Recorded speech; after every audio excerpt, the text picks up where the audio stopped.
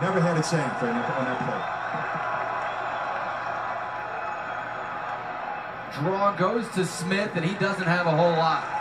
Snowed under. Chris De La Rosa was the first one to hit him, and Georgia State's going to be forced to punt.